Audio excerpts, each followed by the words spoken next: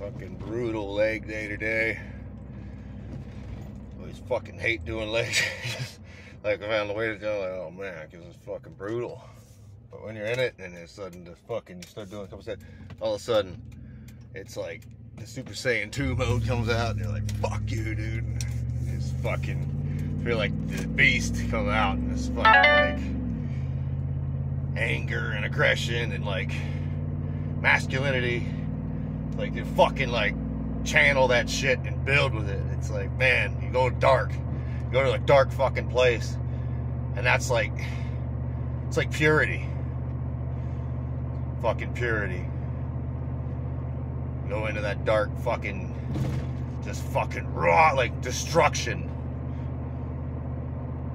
And then you, you channel all that shit to some very positive things, and then you come out of the gym and you're like, man, I feel feel great. All that stuff's gone. All that anger, all that, all that fucking. You got to have something to channel that shit in. Otherwise, it's like it goes internalized, and you feel depressed, and you feel like you just literally take all that, all that energy because it can't. Energy, it can't just go away. It's it's there. So it's like it has to. You have to transmute that shit. You got to exercise that shit out of you. Otherwise, it's like you're gonna be one fucked up motherfucker. And then that's why it's like, man, gotta find that shit when you, you gotta you gotta go dark. You gotta go fucking dark. Because that through the darkness is like, wow. It's like holy crap.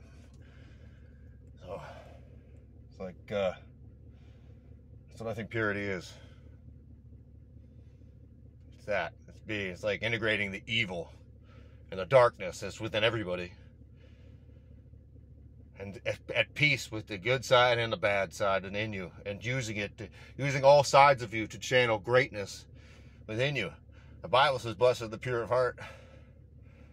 And i think that's what it means. It doesn't mean what does the fuck what else would it mean? To be pure is to be all encompassing like i don't know what else it would mean. And it's like man you look at all the successful people and they're kind of like they're like aggressive about like what they're trying to get done they're like, hey, you know, the people who like really enjoy their lives and stuff, and the people who have a lot, they're like aggressive on how they're attacking it. And it might be an asshole, it might be this, it might be that, but they're like at peace. So I think that's what pure, pure of heart means to be pure. That's why you gotta get in the gym. You gotta go fucking evil mode, dude. You gotta be like, I will fucking destroy this shit in front of me, like hell or high water. Like it's me or the weights, or and just, it's me against me, and I'm gonna beat me every fucking time. That's the way you play, and that's the way you win. If you don't play like that, you're fucking miserable loser. That's what I believe. The truth, fucking purity.